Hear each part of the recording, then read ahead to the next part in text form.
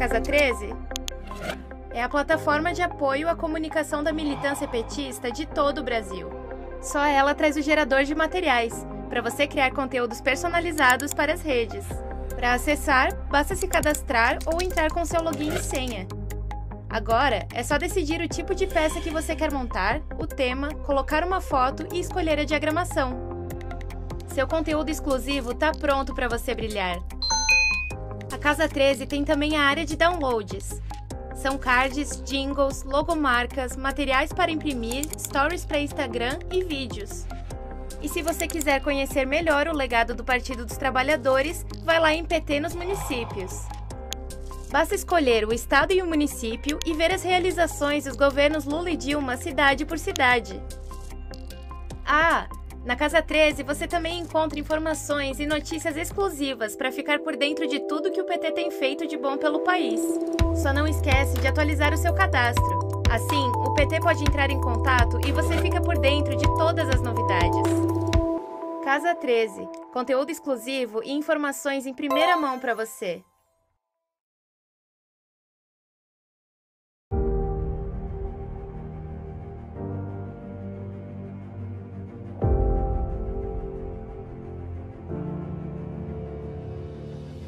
Tinha certeza que esse dia chegaria. A verdade prevaleceu.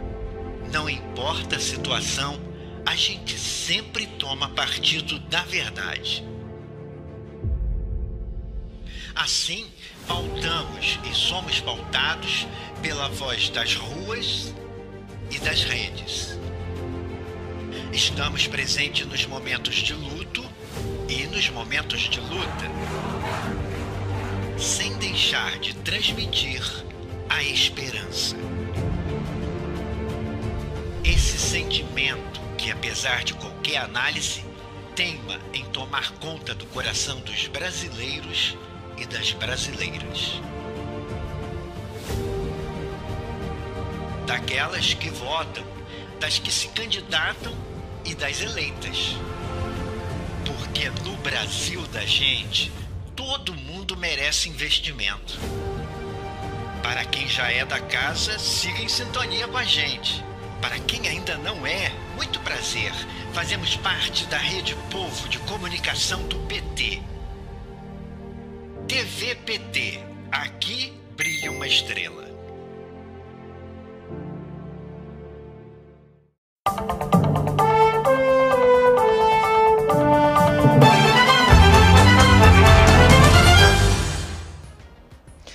Segunda-feira, 5 de dezembro de 2022, está começando agora o Jornal PT Brasil com muita informação e luta popular na sua manhã. Um ótimo dia para você que acompanha a nossa programação pelo Facebook, pela TV PT no YouTube ou pela rádio PT na web.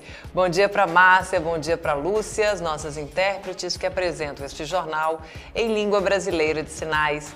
Eu sou Amanda Guerra e falo com você ao vivo do estúdio da Rede Povo de Comunicação, do PT. Hoje o senador Paulo Paim, do PT do Rio Grande do Sul, é o nosso convidado para comentar a tramitação da PEC do Bolsa Família no Congresso. Né? O presidente do Senado já pautou a votação para quarta-feira dessa semana né? e aguarda aí a Comissão, Comissão de Constituição e Justiça. O coordenador da Central de Movimentos Populares, Raimundo Bonfim, vai falar do Conselho de Participação Popular na transição de governo. E o Fernando Brasil vai falar do vergonhoso recorde de pessoas é, na pobreza e na extrema pobreza. E o Brasil bate mais um número, né? muito, muito sério, muito vergonhoso. Mais uma vez, aí, quase metade, só para vocês terem uma ideia, quase metade das crianças menores de 14 anos no Brasil são pobres. E a gente comenta esses índices hoje com o Fernando Brasil. E você pode participar enviando aqui mensagens para o nosso chat Democracia, mande seu desabafo, sua reclamação, sua mensagem de esperança. A gente está aí há poucos dias da posse, me conta aí como é que está essa contagem regressiva da posse e da diplomação do presidente Lula também, que acontece em breve. Manda aqui sua mensagem para gente, mas não esquece de deixar o seu nome também, o nome da sua cidade, que a gente gosta de saber de onde você acompanha o nosso jornal nesta segunda-feira. Compartilhe também a edição de hoje, convide outras pessoas a conhecer aqui o nosso conteúdo. E você que ainda não se inscreveu na nossa TV PT, está chegando agora, Aproveita para se inscrever e ativar o sininho de notificações, porque assim que começar alguma transmissão, uma coletiva de imprensa ali da transição de governo, você vai receber a notificação e não vai perder este conteúdo, vai ficar com a gente aqui ligadinho. A gente está aqui ajustando o nosso primeiro convidado. Enquanto isso, deixa eu dar bom dia aqui para esse povo que já está no chat Democracia aqui mandando um bom dia e uma boa energia aqui, como o Alberto Quirone lá de Boa Vista, Roraima. Está aqui dando bom dia para o povo do Jornal PT Brasil, com é, informações e informação continuada. Gostei, gostei desse, desse slogan aqui para a gente também, Alberto. A Rejane Costa Alves também deixando bom dia aqui. Josi Negreiros falando lá de Porto Alegre, no Rio Grande do Sul. A Vera dando um bom dia aqui. Lindo dia, companheirada. Aqui no som no último para costurar. Aí é verdade, a Vera costura escutando né, o Jornal PT Brasil todas as manhãs e receber as melhores informações aqui do Partido dos Trabalhadores. Bom dia também para Cirlei ou é Cirlei, não sei. Xavier, bom dia para você também. Paulo Roberto Carneiro dando bom dia para a gente também. A Nelma Lazarim, aguardando, estava aguardando aqui a nossa transmissão, que já começou, a gente já está aqui conectado e sintonizado, todo mundo junto. Érica, Emily, duas crianças, ó, Érica e Emily são duas crianças, eu não sei, bom dia para vocês. Nicácia Canuto também está com a gente, bom dia. Vando Jesus, Rejane Costa Alves, sejam todos muito bem-vindos e muito bem-vindas ao Jornal PT Brasil e a gente já começa com entrevista. Vamos conversar agora com o coordenador da Central de Movimentos Populares, Raimundo Bonfim. Bom dia para você, Raimundo. Seja muito bem-vindo ao Jornal PT Brasil. Bom dia, Amanda. Bom dia aos telespectadores, ouvintes. É um prazer enorme voltar mais uma vez a conversar com o Jornal PT Brasil. O prazer é nosso. Obrigada aí por aceitar nosso convite. Raimundo, a coordenadora de articulação política né, do Gabinete de Transição e presidenta nacional do PT, Gleisi Hoffmann, instalou na semana passada o Conselho de Participação Social dentro do governo de transição. Eu queria que você explicasse para gente qual é o objetivo desse conselho e como você avalia esse movimento do partido de agregar esse conselho também na transição de governo. Muito bem, Amanda. Essa foi uma medida, uma decisão muito importante, extraordinária, que corresponde à expectativa dos movimentos populares e sociais que tiveram um papel fundamental na resistência contra o golpe, contra os retrocessos e também no processo eleitoral. Inclusive, vários dos movimentos populares, inclusive a Central de Movimentos Populares, compôs o Conselho Político da campanha Lula presidente, coordenado pela presidenta Gleice Hoffmann. E, para além dos 32 GTs, os grupos de trabalho, do governo de transição. A Grace, na condição de coordenadora de articulação política do governo de transição, instituiu a atendeu essa demanda dos movimentos sociais e instalou o Conselho de Participação Social. Poderia ter, ter sido chamado de IGT, mas como a portaria já tinha instituído os 32 IGTs, para não ter essa confusão, a gente denominou de Conselho de Participação Social. É um, foi instalado no dia 28 é, ele é composto de mais de 50 entidades, redes, fórum, pessoal dos movimentos, da academia, pesquisadores desse tema da participação social, e tem uma executiva, uma coordenação executiva de oito integrantes, eu sendo um deles. Tem gente do MST, da, do campo das mulheres, do movimento negro, dos movimentos populares urbanos, das centrais sindicais, e tem a três atribuições. Uma é fazer um diagnóstico do desmonte da participação social por parte do governo atual. A segundo, apresentar as diretrizes gerais, a partir do que já estava contido no programa de governo, apresentar diretrizes gerais para uma, uma participação social mais efetiva, mais eficaz, né? E terceiro, apresentar uma ideia é, do órgão administrativo responsável pela participação social. Então, desde o dia 28, nós estamos trabalhando de forma intensamente sobre a coordenação da presidenta Grace, é, para já apresentamos um relatório preliminar no dia 30 e no dia 11 apresentaremos um outro relatório. É, esse grupo de participação social tem feito diálogo com vários dos GTs, é, debatendo sobre a questão das propostas da participação social. Nós, a presidenta Gleice está convicta de que a participação social terá que ser um elemento central, é, prioritário no futuro governo Lula.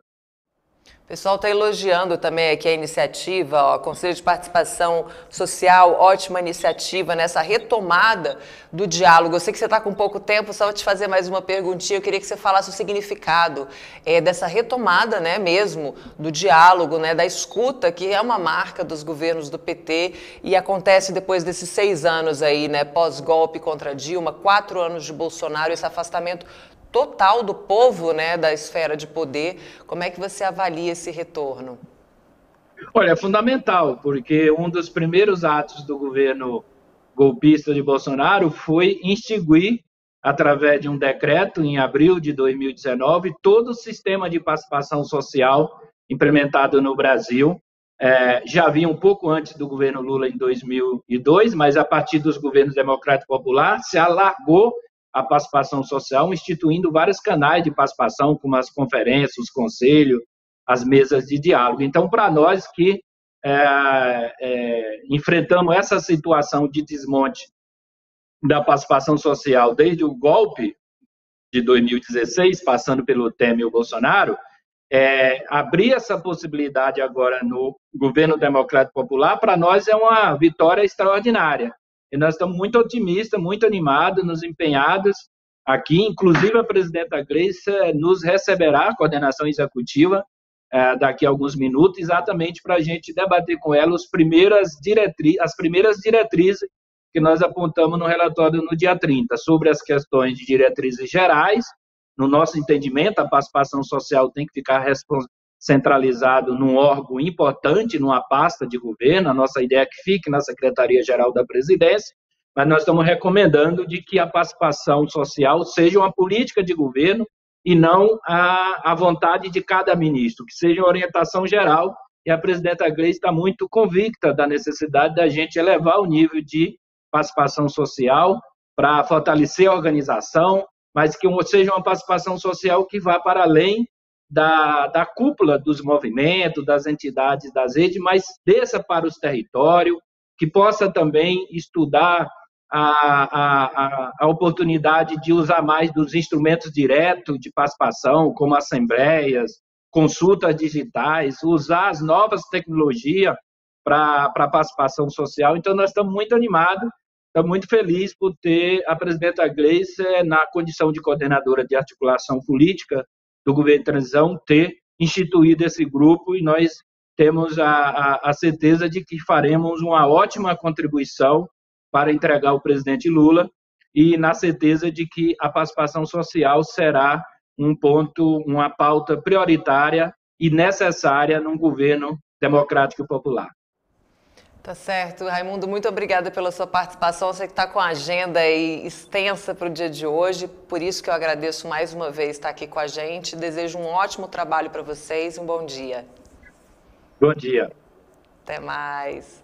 É isso, gente. Conselho de Participação Popular, né? Mais uma iniciativa aí para trazer mais democracia, né? Mais diálogo, mais escuta já nessa transição de governo, governo que começa já em janeiro do ano que vem, trabalhando para agregar o maior número possível aí de movimentos populares e a gente escutar o povo, né? Porque as políticas são feitas para o povo, não é verdade? Luciano Padilha, bom dia para você.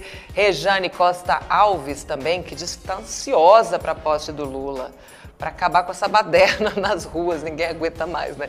Esses golpistas por aí. Zalete Gomes falando lá de aqui em Macaé. Olha isso, que bom, bom dia para você. Macaé, Rio de Janeiro, claro, né? O negócio está cortado aqui. Vanderlei Moraes, bom dia também, falando lá de Florianópolis. Ana Maria Lobo de Oliveira, Roberval Martins, dando bom dia aqui para todos os companheiros. É, Antônio Ostoneide também, dando bom dia aqui. Olha aí, dizendo aqui que saudando né, o partido. Bom dia, não existe ninguém perfeito, mas existe o PT sempre. Almerico Guerra, também lá de Caruaru, Pernambuco. Doni, José Donizete Araújo, bom dia para você. Vilmar Antunes. É, Lúcia Laura também dando bom dia pra gente. Edna Della Nina. Gleise é ótima, que ela elogiando muito a atuação da presidenta Gleise. Precisamos de mais mulheres nos GTs e no governo do presidente Lula. Dina Ferreira Silva também com a gente aqui não vendo a hora, contando os dias para a posse do presidente Lula. E vamos falar agora, gente, com o Fernando Brasil, editor do portal de notícias do PT. Hoje a gente vai falar de mais um recorde vergonhoso aí para o nosso país, que é o aumento da pobreza e da extrema pobreza né, no Brasil. Bom dia para você, Fernando. Bom dia, Amanda. Bom dia para Márcia e para Lúcia. E bom dia para todo mundo que está nos assistindo agora no jornal PT Brasil. Fernando, na sexta-feira a gente teve uma matéria publicada no portal de notícias do PT. Para quem está aí pelo Facebook, pelo YouTube, está vendo a matéria em tela, né? Sobre esse recorde de brasileiros que estão abaixo da linha da pobreza, em especial nos últimos dois anos, né? De 2020 para cá. Eu queria que você explicasse para a gente o que, que dizem esses números. Amanda, é, a profunda crise é, que o Brasil foi metido né, nesses últimos anos, né, que se manifesta em, em várias camadas, em várias dimensões, é, ela atua com muito mais força na área social do que nas outras. Né? O desmonte acelerado das redes de proteção social é, para os mais pobres, infelizmente, produziu um exército de miseráveis no país, fazendo com que a gente retrocedesse é, décadas é, após Bolsonaro é, ter o hábito aí, tomar o hábito de rasgar a Constituição de 1988 diariamente, desde que ele tomou posse. É um levantamento do Instituto é, Brasileiro de Geografia e Estatística, o IBGE, divulgado nessa sexta-feira, né, na última sexta-feira, confirma tudo aquilo que a gente vem denunciando aqui durante todos esses meses. Né? Em 2021, o Brasil ultrapassou o inaceitável número de nada menos do que 62 milhões e meio de pessoas é, vivendo na pobreza, quase isso dá quase 30% da população. Desse grupo, 17,9 milhões vivem em extrema pobreza e isso corresponde a 8,4% é, da população. Mas o mais grave é o índice de crianças com menos de 14 anos de idade abaixo da linha da pobreza. Esse índice chegou a impressionantes 46,2%. Os critérios para essa medição é, são adotados pelo Banco Mundial. A instituição classifica é, pessoas em pobreza que vivem é, em extrema pobreza, é, desculpa, que vivem é, em situação de pobreza, são aquelas famílias que vivem com 486 reais mensais per capita, ou seja, considerando a renda daquela residência. Para o Banco Mundial, estão em situação de extrema pobreza, aí sim, quem vive com até 168 reais por mês. Esses indicadores são os maiores desde que o IBGE começou a fazer esse levantamento, essa série histórica em 2012. Além disso, entre 2020 e 2021, é, houve um aumento recorde nos dois grupos. O contingente abaixo da linha da pobreza cresceu 22,7%, isso dá mais ou menos 11,6 milhões de pessoas, e o das, é, das pessoas na extrema pobreza aumentou 48,2%, ou seja, mais 5,8 é, milhões de pessoas. Os dados mostram ainda que a pobreza cresceu de modo avassalador em, em todos os segmentos sociais, né? em qualquer segmento que a gente considere, é, considerando classe social, raça, gênero e até região. Tanto que o índice Gini, que mede a desigualdade de renda né, entre pobres e ricos, voltou a subir e chegou a 0,544 é, pontos percentuais, é, perdendo apenas para a maior marca da série histórica, que foi atingida em 2018. Essa taxa ela vinha caindo é, no governo Dilma, né? Eu comentei aqui que a série começou em 2012, isso é no governo Dilma e voltou, ela vinha caindo progressivamente nesse governo e voltou a subir desde a crise que derrubou a presidenta é, do Palácio do Planalto e só caiu em um ano que foi o ano de 2020, é, naquele ano que o governo foi obrigado a pagar o auxílio emergencial de 600 reais é, pelo Congresso Nacional. Como se sabe, a extrema pobreza é quase o dobro entre negros e pardos. é, chegando a 37,7% contra 18,6% é, dos brancos, e o índice Gini é também maior no Nordeste e menor no Sul. O estudo é, também identifica que quanto mais pobre é a família, é, menor são as oportunidades de trabalho e, portanto, essas famílias são mais dependentes é, dos programas sociais. O agravamento da crise de Bolsonaro atingiu justamente as famílias mais pobres. Somente no ano de 2021, os mais pobres perderam entre 20% e 30% é, da sua renda, enquanto a parcela com maior renda perdeu apenas é, 4,5% em média. Isso confirma duas coisas. Enquanto estraçalhavam os programas sociais, Bolsonaro e o ministro banqueiro da Economia, Paulo Guedes, garantiram é, benesses aos mais endinheirados, à base da pirâmide, e seus 33 milhões de famílias que pudessem ali ficar se contentando com osso na fila do açougue, mano. Fernando, e está coincidindo, né, a divulgação desses dados que são estarrecedores, né, assustadores, com o momento que a equipe de transição é, apresenta esse diagnóstico aí do desmonte das políticas sociais, né? Então não há coincidência. E o que é pior, foram encontrados indícios de crime eleitoral e de abuso de poder econômico cometidos por Bolsonaro no uso do Auxílio Brasil e do crédito, crédito consignado né, para beneficiários do programa.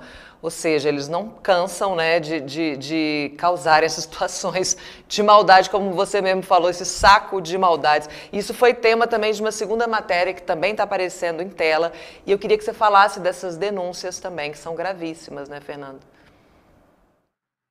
É exatamente isso que você falou, Amanda. Não basta prejudicar a população né, com bloqueios orçamentários, com desmantelamento é, da rede de proteção social que eu mencionei é, há, é, pouco, é, e como explicou a equipe de transição em coletiva na última quinta-feira. Por exemplo, deixaram dinheiro é, para assistência social funcionar no ano de 2023 por apenas 10 dias. Esse é o, é o dinheiro que tem em caixa para assistência é, social funcionar. Mas muito pior do que isso, é, é um dado que, é uma, que, que, já é uma, uma calamidade por si só, né? mas eles não se contentaram em destruir o, o orçamento. Bolsonaro usou a máquina pública para obter todo tipo de benefício social quanto fosse possível, é, desequilibrando ali a disputa presidencial de um modo muito forte. Né? Foi isso que a equipe de transição descobriu ao se debruçar, ao se debruçar sobre a situação do Auxílio Brasil no âmbito do Ministério da Cidadania. Primeiro que identificaram um crescimento atípico de 2 milhões e meio de beneficiários é, inscritos no Auxílio Brasil às vésperas das eleições, como explicou é, a ex-ministra do Desenvolvimento Social, Tereza Campelo, nessa coletiva de quinta-feira passada. Houve um crescimento exponencial é, dos beneficiários considerados unipessoais, aqueles registrados por CPF no programa, o que mostra, no mínimo, uma falta de critério ou de planejamento. Mas aí o governo propôs é, que esses beneficiários, esses, beneficiários fossem retirados é, do programa já a partir de janeiro. Isso demonstra, no mínimo, uma má fé, né? Porque você não pode fazer um tipo, uma coisa desse tipo em uma eleição. Segundo o coordenador da equipe de transição, Luiz Mercadante, os indícios de crime eleitoral são muito graves e as consequências também serão. Do mesmo jeito que a gente já comentou sobre isso aqui, a Caixa Econômica liberou é, 4 bilhões de reais em crédito consignado para 2 milhões de beneficiários do programa em apenas duas semanas, ali no mês de outubro. Isso foi é, é considerado um ato é, criminoso, primeiro porque as pessoas nem sabem, né? Eu já comentei também isso aqui, que estão construindo, estão é, pegando esse empréstimo, né, condenando uma parte da sua renda para pagar essas dívidas com juros altamente extorsivos. E segundo, porque isso foi feito em plena campanha eleitoral e isso não, não é, é, a, a, legislação não permite isso. Então, como disse o Mercadante, quando o Tribunal de Contas da União baixou a lupa ali é, em cima da Caixa Econômica para ver o que estava acontecendo, o banco suspendeu os pagamentos e, como ele falou, fingiu que não houve nada e que ninguém viu. Mas a equipe de transição viu, não esqueceu e vai tomar as medidas legais sobre esse assunto, pedindo investigação em todas as instâncias aí possíveis, acionando além do TCU, a Controladoria Geral da União, é, a CGU, o Ministério Público e a Justiça Eleitoral. As consequências para Bolsonaro e seus aliados poderão ser muito graves, é, como lembrou o presidente da Fundação Perseu Abramo nessa coletiva de quinta-feira. Esse processo de investigação pode tornar, inclusive, é, inelegíveis autoridades públicas que estão envolvidas nesse processo. E isso é o mínimo que a gente espera, né? É, servidores públicos ali que prevaricaram, autoridades públicas que ajudaram Bolsonaro a usar é, os cofres públicos é, para tentar ganhar a eleição ali na marra, no tapetão, né? É, é, é, a gente viu isso acontecer e é por isso que a vitória do presidente Lula eleita é tão histórica e tão importante para nossa soberania, porque ele não enfrentou apenas uma poderosa máquina de fake news, de mentiras nas redes sociais né, de Bolsonaro. Ele lutou contra toda uma estrutura do Estado, toda uma máquina, é, de novo, uma outra máquina tão poderosa quanto a outra, ou mais poderosa ainda, né, e cujo chefe dessa máquina não poupou esforços é, para atropelar a lei a fim de ganhar as eleições. Né? Mas como diz a expressão que hoje em dia está tão na moda, né? Perdeu, mané. É hora de já ir embora e agora sim enfrentar as consequências desses desmandos, Amanda. É isso, Fernando, sem dúvida nenhuma. É, é de é estarrecedor, né? A gente ainda ficar vendo esses resquícios aí, como você falou, essa vitória do presidente Lula, ela é muito significativa. Foram vários crimes eleitorais que com certeza aí vão ser apurados, vão ser punidos. Mas ainda assim, né, a gente conseguiu eleger o presidente Lula, apesar dessa enxurrada de dinheiro aí que foi disponibilizada para a vitória do Bolsonaro. Não deu certo esse plano, a vontade do povo prevaleceu. E dia primeiro, Lula vai subir aquela rampa, vai tomar posse e a gente vai estar tá aqui cobrindo isso, né, companheiro? Exatamente. Estaremos de olho. É, agora, dia 19, é, dia 12, né? Tem a diplomação. Dia 12 foi antecipado. Passou do dia foi antecipada, a gente também vai, vai acompanhar isso aí de perto, todos é, de olho na transição a partir de agora, mano. Com certeza, momento a momento aqui, a Rede Povo vai cobrir é, todo essa, esse finalzinho aí né, de dezembro e mais a posse do presidente Lula. Mas antes de você ir embora, eu queria lembrar que hoje tem jogo da Copa e a gente tem que manter aqui a nossa tradição dos palpites. Mesmo que você tenha pois errado é. o último, eu confiei em você, Fernando Brasil. O último, o último foi realmente complicado ali, né? Eu falei 2 a 0 e a gente tomou. Agora é o seguinte, hoje não pode perder mais. Então... Hoje não pode, senão é, é despedida. É. Se não é despedida. Eu vou manter meus 2 a 0 hein? Vamos lá. Tá bom. Com fé. Tá bom, palpite conservador, mas também otimista ao mesmo tempo. Vamos lá.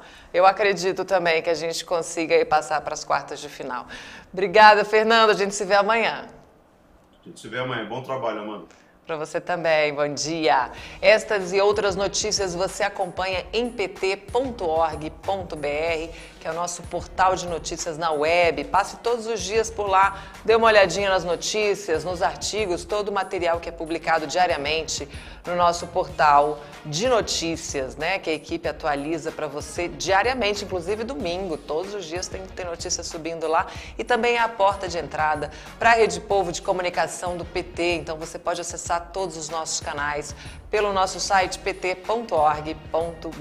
Importante é que a gente fique conectado, sintonizado, fique todo mundo junto aí na mesma frequência.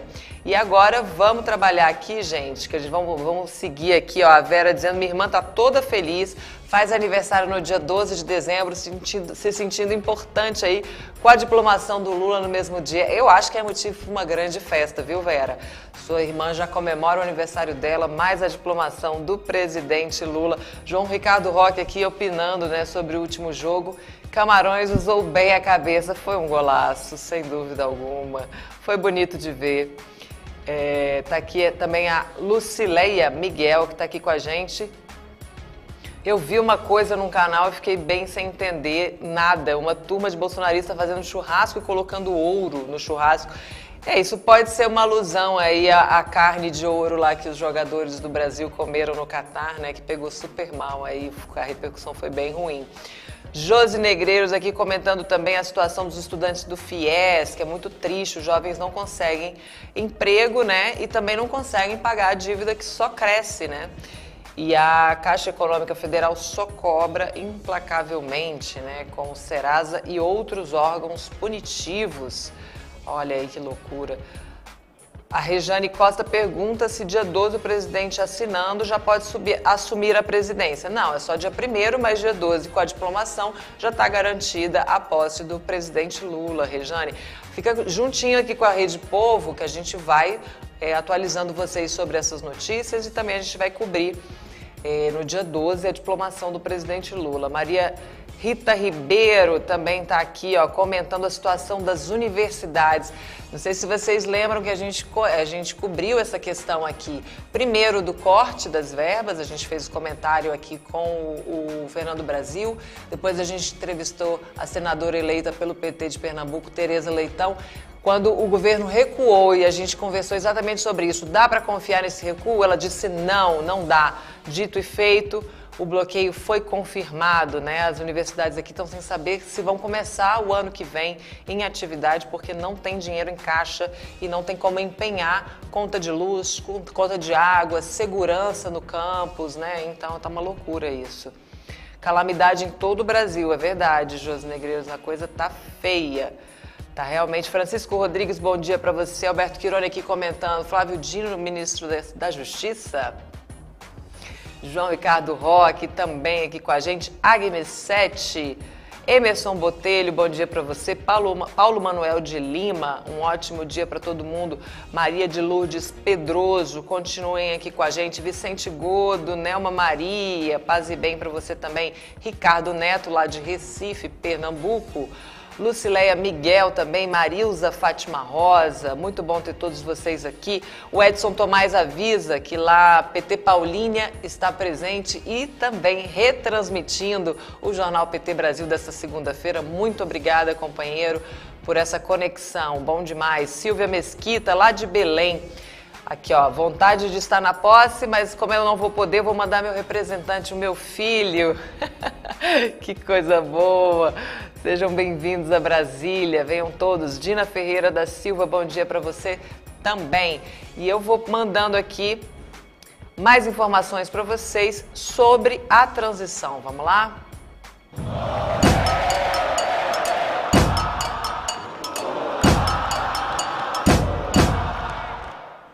Presidente Lula conversou com a imprensa nesta sexta-feira lá no CCBB, aqui em Brasília. Ele afirmou que os trabalhadores e aposentados que ganham salário mínimo terão aumento real todo ano e que o crescimento do produto interno bruto será repartido entre a sociedade. Lula também falou sobre a importância da PEC do Bolsa Família. Eu estou convencido que nós vamos conseguir aprovar a PEC, que não é uma PEC do Lula, é uma PEC do Bolsonaro, porque o que nós estamos fazendo é repondo no orçamento que ele deveria ter colocado para que a gente possa governar e começar a fazer o tipo de governo que nós saberemos fazer no Brasil. E a PEC não trata de emenda.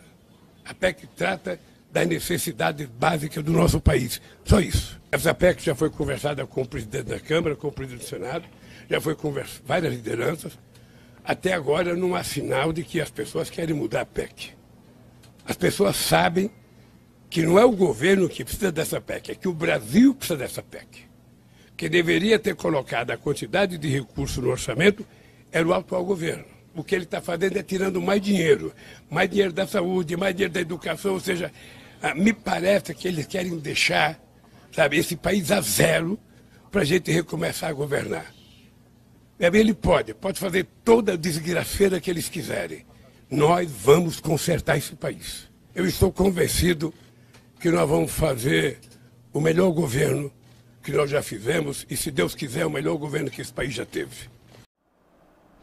E ontem o vice-presidente eleito e coordenador do Gabinete de Transição, Geraldo Alckmin, se reuniu com integrantes do GT da Saúde no Hospital Sírio-Libanês, em São Paulo. E ele comentou pelas redes sociais. Na noite do domingo, tivemos uma importante reunião de trabalho com médicos, com médicos professores de renomadas instituições de saúde. Sob a liderança do presidente Lula, faremos uma grande campanha de vacinação para reverter as recentes quedas na cobertura vacinal. Isso é um compromisso do presidente Lula, um compromisso de campanha, um compromisso do GT da Saúde. A gente não vê a hora disso acontecer, né? Da gente sair dessa, dessa marca vergonhosa, né, que o Brasil não ocupa há tantas décadas com tão poucas crianças vacinadas, tão, pouco, tão poucos adultos vacinados também, e a vacinação da Covid precisa atingir a população inteira, né, com as doses de reforço para a gente enfrentar a pandemia, porque ela não acabou. Entre os dias 5 e 7 de dezembro, o subgrupo Petróleo, Gás Natural e Biocombustíveis do GT de Minas e Energia vai cumprir agenda no Rio de Janeiro. Hoje e amanhã, o subgrupo, que é coordenado pelo senador Jean Paul Prats, do PT do Rio Grande do Norte, vai visitar a sede da Petrobras. Na semana passada, em reunião online com o presidente da estatal, ficou acertada essa visita, que é, vai ser uma troca de informações entre a Petrobras e a equipe de transição. E amanhã à tarde, o GT vai ter reuniões com diretores e representantes da Agência Nacional do Petróleo, Gás Natural e Biocombustíveis, da companhia Pressal Petróleo e da empresa de pesquisa energética. Já na quarta-feira, o grupo vai ter reuniões com reunião com entidades e associações do setor. Além do coordenador do subgrupo, o senador Jean Paul Prats, vão participar dessas atividades no Rio de Janeiro o coordenador do GT de Minas e Energia, Maurício Tomasquim, Rodrigo Leão, David Bacelar e Magda Chambriar que são membros do subgrupo. E é isso, está aí atualizada para vocês a nossa agenda, né, de hoje, amanhã e quarta-feira dos grupos de transição, né, os grupos técnicos da equipe de transição de governo e as atualizações a gente vai passando para vocês aqui diariamente. Olha só, aqui o Edson Tomás dando, é, já, já, já, falou aqui com a gente dessa transmissão, a gente agradeceu. Ricardo Neto, né, uma Maria Vicente Godo, Francisco Rodrigues, né, Arthur Macedo, Silvio Printes aqui também está com a gente, lá do Rio Grande do Sul. Ele, a Betinha e o Artuzinho. Chegou o Brasil da Esperança. Clodoaldo Santos também deixa aqui um carinhoso bom dia para todo mundo. Rock Nilson. Bom dia, Amanda Linda. Bom dia, Rock lindo. Parabéns pelo seu grande trabalho. Muito obrigada. Obrigada por vocês estarem aqui com a gente diariamente. Luzia Fernandes também dando um ótimo dia aqui. Astrid, meu melhor atacante, melhor goleiro do mundo, Lula. E já escalou o time com Lula de ponta a ponta. Que coisa boa. Manuel Dias, Lula presidente do Brasil. Aqui também a, a, o Luciano Padilha, né, que deixou coraçõezinhos aqui, deixando um bom dia para a gente também. Gabriel Fonseca, declarando seu amor aqui ao Partido dos Trabalhadores. Tem um perfil aqui do Alexandre, que é lá de Blumenau, Santa Catarina. Bom dia para você. E também dizendo que o bem vai vencer o mal, não vamos desistir. Olha que coisa boa. Então vamos seguindo aqui. Ah, Neilson Pinto também, que é lá de Coroadinho, São Luís, do Maranhão, que também marcando presença. Maravilha. Então vamos seguindo aqui com mais uma entrevista. A gente conversa agora com o senador pelo PT do Rio Grande do Sul, Paulo Paim. Bom dia, senador. Prazer revê-lo. Bem-vindo mais uma vez ao Jornal PT Brasil. Bom dia, Amanda. Prazer é meu estar aqui com você para falar de um tema tão importante é, que é a questão da, da Bolsa Família, né? o APEC de emergência, o APEC 32, se quiserem também, para conhecer o número, né? Uhum. que vai ajudar o início do nosso governo. Eu estou à tua disposição e vamos lá. Essa vamos. PEC tem que ser aprovada antes do dia 15, nas duas Com casas. Com certeza, nas duas casas e as bancadas estão trabalhando para isso, né, senador? E... e a partir desses relatórios, né, que estão sendo divulgados aí pelos grupos técnicos, é, eu queria que o senhor comentasse para a gente como é que o senhor está vendo essa situação de terra arrasada que se encontra o país, em especial aí nas áreas sociais e o impacto sobre os aposentados e os mais pobres. Olha, Amanda, a preocupação de fato é muito grande. Você sabe que eu atuo muito nessa área, né? Direitos humanos, direitos sociais, a questão racial, que é direitos humanos, e, e, e também no mundo do trabalho. O, o, o, governo atual entrega o país totalmente quebrado. Quebrado porque não tem orçamento. Como é que você vai tocar a vida do nosso povo a partir de 1 de janeiro? Por isso que eu aproveito esse momento de dizer que já falei duas, três vezes na, na tribuna e senador nenhum, na minha avaliação, é, tem condição de votar contra essa PEC. Essa PEC vai na linha que, principalmente, os compromissos assumidos, não só pelo Lula, mas pelos outros candidatos também, na disputa presidencial. Ora, quem numa disputa presidencial iria dizer que é contra os 600 reais? Todos disseram que são a favor, como também os 150 reais para criança até seis anos. Quem, em plena campanha, iria dizer, só que para mim vale a palavra dada, empenhada, e vale a verdade, que seria contra o aumento real ao salário mínimo num país onde quase 100 milhões de pessoas estão na situação de insuficiência alimentar, né? Quem ia ser contra o salário mínimo da inflação mais PIB? Quando nós tínhamos a política anterior, dos governos depois da Dilma, nós chegamos a 350 dólares. Hoje vale em torno de 240 dólares. Então, tem que retomar essa política. E podia lembrar outros dados aqui, né? Ah, o orçamento perdeu 407 milhões só na questão HIV-AIDS, na prevenção. São necessários, segundo a equipe de transição eh, da saúde, 22,8 bilhões para recompor o orçamento do Ministério da Saúde. Isso que nós queremos avançar mais, mas vamos pensar pelo menos recompor para atender uh, o nosso povo, que saúde significa salvar vidas. Não tem dinheiro para o programa Farmácia Popular. Todos nós sabemos, eu vejo por mim. Eu tomo aí uma meia dúzia, para não dizer é, uns 10 tipos de remédio, mas tomo meia dúzia de remédios, digamos. Né? Eu sei o que eu gasto por mês, mas gasto porque posso. Eu calcule, por exemplo, eu sou pré-diabético, pré-diabético, e aí vai, tem pressão alta. O cidadão que ganha salário mínimo ganha dois, três salários. Não consegue pagar, não vai comprar os remédios, vai morrer. Por isso é fundamental que volte rapidamente o investimento no programa Farmácia Popular. Falta dinheiro para merenda, para transporte, para creche. Nos últimos quatro anos, o governo cortou 90% do investimento, por exemplo, em moradia popular. E, ou seja, no nosso tempo, minha casa, minha vida. Ter o seu canto, o seu lugar, o seu porto seguro, é uma questão de sobrevivência também para a nossa gente. Olha, reduziram 96% do valor destinado aos programas de acesso à água para consumo humano. Veja, a água. As universidades tiveram o seu orçamento reduzido e o caixa raspado agora. Inclusive, havia um compromisso, porque é, trancaram, depois liberaram e trancaram de novo. 350 milhões cortaram agora de novo. Se é que dá, as universidades se prepararam, eles não têm de pagar professor para pagar é, água, luz, limpeza, nada. Vão pagar as universidades? Ora, você lembrou bem dos aposentados. Coisa, eu trabalho muito nessa área, até presidi a CPI da Previdência. Com todos os problemas da Previdência, que muitas vezes eles criam o problema, como é que diz? Você cria a dificuldade para ter facilidades, né? Mas a nossa Previdência nunca atrasou um dia o pagamento dos aposentados e pensionistas aquilo que compete no campo da Seguridade Social, a Previdência nunca falhou. E, nesse momento, estão dizendo que se não houver algum movimento, e o movimento, nesse momento, mais, pró, mais próximo, mais realista, é essa PEC que tem que ser a, aprovada.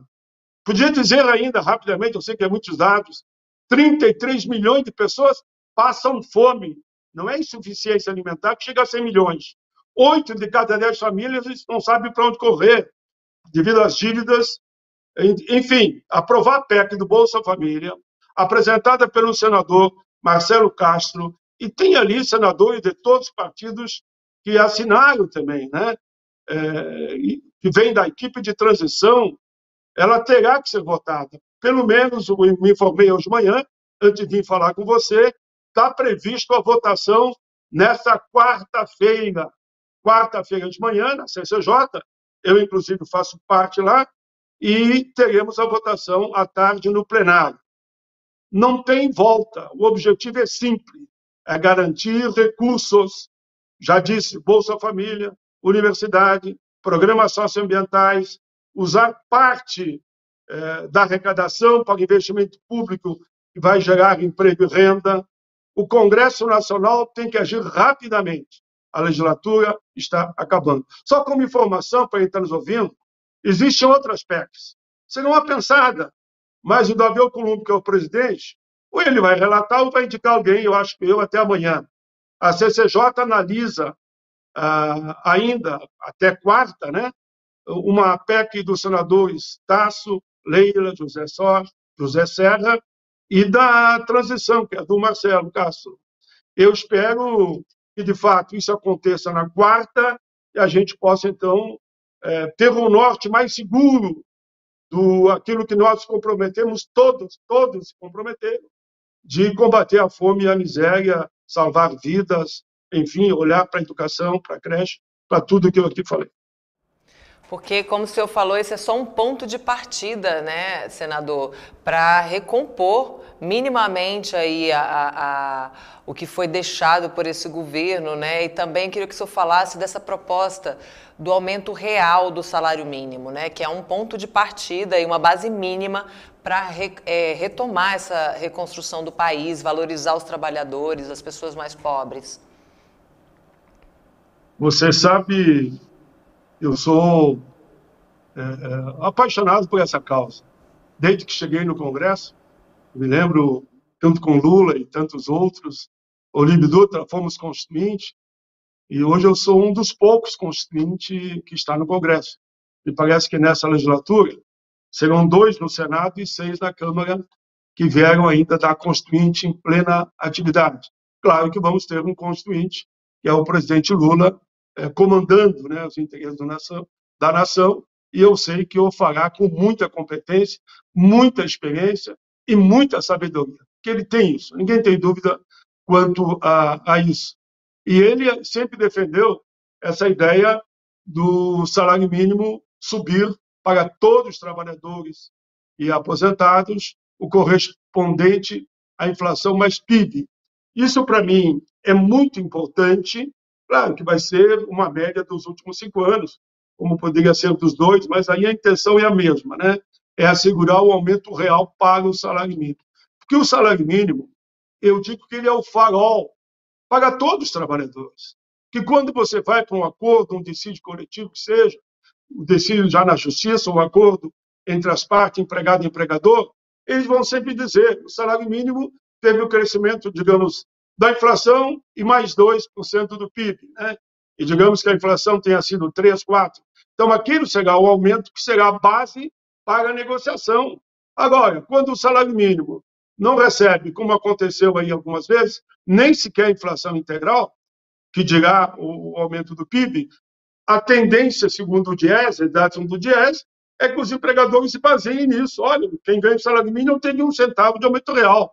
Não tem como dar para vocês. Infelizmente, isso, mais que a metade dos trabalhadores foram prejudicados pela política de acabar com a inflação mais PIB para o salário mínimo, que, repito, é o grande farol, é a grande lamparina a iluminar o caminho da discussão das faixas salariais. Por isso que já tem projeto no Senado, eu reapresentei mais um, né, tem diversos projetos que eu fui relator, e outros também trabalharam, eu apresentei mais um com esse objetivo ainda é, ali pela metade do ano passado. Então, contribuição tem.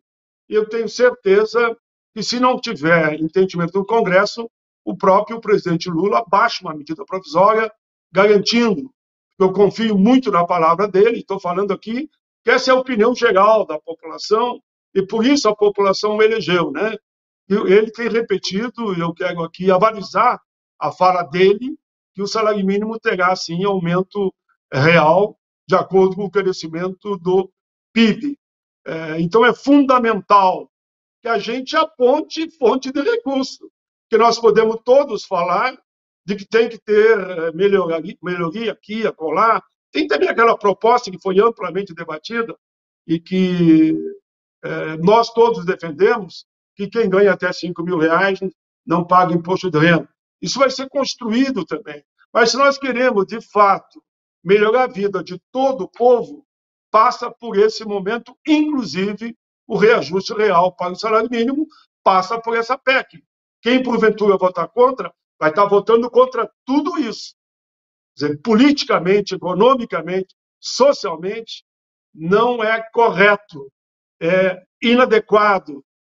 Eu seria até, eu diria, eu diria que como se nós fôssemos irresponsáveis se não aprovássemos essa PEC olhando para os milhões de brasileiros que vão, na verdade, sofrer, não é nem que pagar conta, vão sofrer mesmo é, de fome, miséria, não ter acesso a praticamente nada, porque não tem dinheiro. Há quem diga do Tribunal de Conta que a defasagem, para ajustar a caminhada do novo governo, precisaria um investimento de mais de 400 bilhões de reais. Então é só o início mesmo. E diante disso, senador, é, o senhor já falou aí das datas, né? A gente tem aí o dia de quarta-feira para tramitar ali na, na CCJ, depois vai a plenário no Senado em regime de urgência, porque é urgente mesmo, e quem tem fome tem pressa. Eu queria que o senhor comentasse aqui com a gente também quais as expectativas para essa tramitação e quais argumentos né, a, a, bancada do PT aí tem preparado para convencer seus pares aí no Senado Federal nesse primeiro momento. Primeiro dizer que foi fundamental a vinda do presidente Lula, que chegou em Brasília e tem ajudado muito nessa articulação. O Lula, ele tem um olhar para o todo, né? Ele conversou e está conversando com todos os líderes e parlamentares, que são influentes, naturalmente, a bancada do PT há de cumprir sua parte, como toda a federação, e os aliados, tanto os aliados na federação e aqueles quase 16 partidos que se somaram à campanha do presidente Lula, como aqueles que estavam numa outra, numa outro espaço, digamos, em relação à disputa política. O Lula tem dialogado, inclusive, com o Lira, isso mesmo tem que dialogar com todos. Eu não tenho problema nenhum de fazer essa afirmação, que eu acho que é mais do que correto. Nós precisamos é de voto. Eu me dou como exemplo aqui, na Assembleia Nacional Constituinte, que por duas vezes eu tive que falar, até mesmo com o Jarbas Passarinho, que ele liderava o Centrão naquela época, e nós queríamos aprovar o direito de greve, isso foi uma das vezes, e, e, e daí, conversando com, com Lula, com Olívio, com o próprio Covas, tem que falar com o Passarinho lá para ele defender essa proposta que vocês vão defender. E fui falar com ele.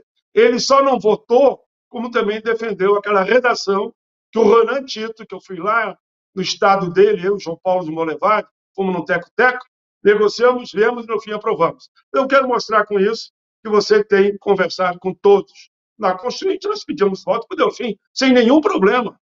E muitas vezes ele votou conosco na construção, todos nós, né, todos os constituintes, os 513 deputados e 81 senadores, na construção cidadã, que eu aproveito aqui para dizer para aqueles que continuam mentindo, o PT votou e assinou, votou de acordo com o seu ponto de vista dos temas que estavam avançando ou não. Mas a grande questão que diz é que nós não assinamos a Constituição. Assinamos. Pode ir lá que está a assinatura de todos os parlamentares do PT na Assembleia Nacional Constituinte.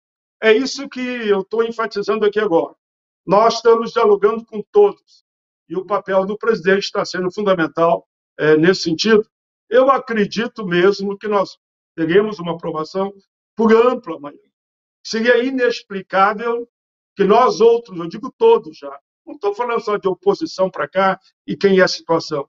Seria inexplicável para qualquer homem público explicar por que, que votou contra é, o eixo, né? que seria os 600 reais mais os 150 e todos os desdobramentos que aqui nós explicamos. Procurei explicar aqui muito rápido, eu sei, mas tinha muitos dados, muitos números, que tudo que eu falei aqui será usado normalmente na conversa com os nossos é, pares dentro do Congresso Nacional. Acredito que vai ter sensibilidade de ampla maioria. Claro que vai ter alguns que sempre é, terão a sua opinião, e nós vamos respeitar, desde que não venham prejudicar aquilo que é o básico, né? A última fala que eu vi do presidente Lula, ele dizendo E foi num evento que eu estava presente, aqui em Brasília, onde lágrimas nos olhos ele disse: o compromisso da minha vida é com as causas sociais e eu estou aqui para isso, né? Aí ele falou das três refeições, falou da importância da educação, da saúde, enfim, da habitação, saneamento básico, minha casa, minha vida.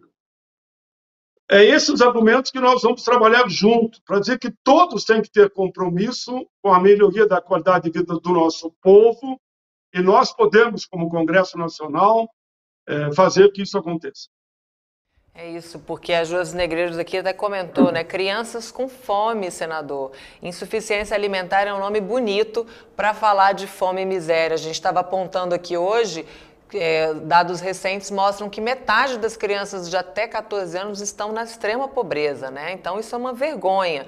Tem muita gente aqui te saudando também, a Luzia, a Luzia Fernandes, Alberto Quirone, João Ricardo Roque, também Astrid aqui, senador Paim. Deixando aqui também um abraço para o senhor. O Roque Nilson dizendo parabéns, senador, felicidades.